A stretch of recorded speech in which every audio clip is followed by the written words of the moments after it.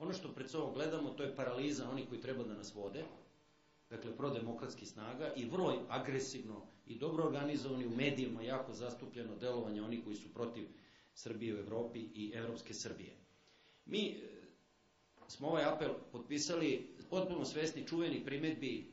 kako su se sad odjednom našli ljudi koji imaju različite političke poglede, različite svoje političke sudbine, vrlo je lako izvući ono što nas razlikuje,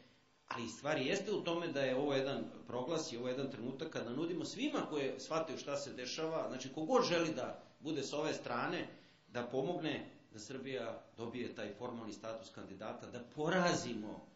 u ovom trenutku taj ključni otpor tim, to, tim promenama koje Srbija mora da izvrši.